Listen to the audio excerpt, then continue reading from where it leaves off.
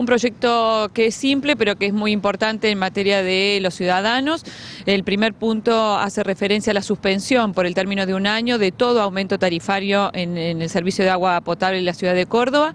El segundo punto es que durante ese año el gobierno debe encargarle a la Universidad Nacional de Córdoba un estudio de costo-beneficio y a partir de ese estudio decidir qué se hace con el contrato de concesión de agua.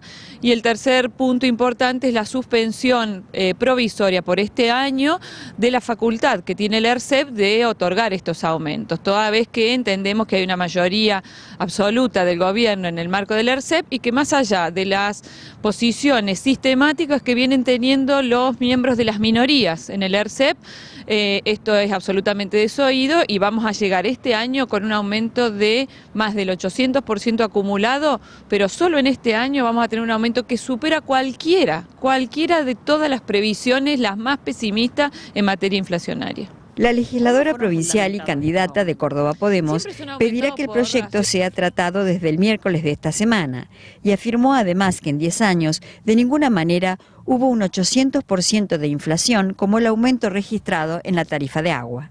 Primero hay que tener en claro que el agua es para nosotros un bien público. Segundo, que el acceso al agua potable está dentro de lo que se consideran los derechos humanos. Y en tercer lugar, por estas dos razones, precisamente, el Estado debe tener eh, la potestad del manejo del agua. En este sentido, nosotros, usted sabe que venimos proponiendo la vuelta a la órbita estatal del manejo del agua potable. Y si fuera desde un punto de vista exclusivamente económico, 800% eh, en qué cantidad de años? Y del 2005 que se produce la concesión hasta la fecha. Por lo cual no hay ninguna ecuación que diga que eh, esta gente ha tenido ese nivel de gastos, porque además no está pagando los canon que debería pagar a la provincia por el uso del recurso natural.